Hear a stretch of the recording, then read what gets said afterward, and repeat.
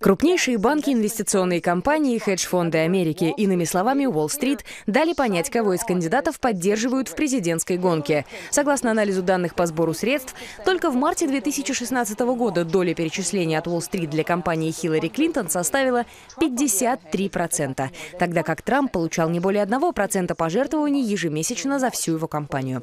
Теперь, когда наиболее вероятными кандидатами на пост президента стали Клинтон и Трамп, многие из доноров с Уолл-стрит, которые ранее поддерживали республиканцев Марка Рубио и Джеба Буша, отдали предпочтение Клинтон. В общей сложности Клинтон получила почти 23 миллиона долларов с Уолл-стрит, из них 4,2 миллиона напрямую в пользу президентской кампании.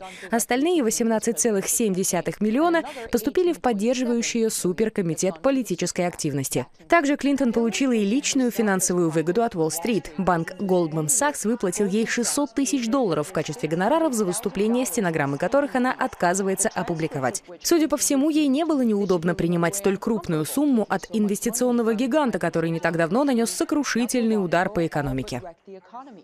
Вы трижды выступили для Goldman Sachs за 675 тысяч долларов. Эти выступления действительно стоили таких денег? Я не знаю, они предложили эту сумму. Если бы деньги могли говорить, то, наверное, они бы сказали, что на Уолл-стрит совершенно не обеспокоены словами Клинтона о том, что она собирается обуздать финансовый сектор. Нам нужно сделать так, чтобы Уолл-стрит никогда более не угрожал остальному населению нашей страны. Что делать с Уолл-стрит? Послушайте, я говорю об этом во всеуслышание уже много лет. Нужно перекрыть им все лазейки и заняться всеми этими баснословными выплатами топ-менеджерам.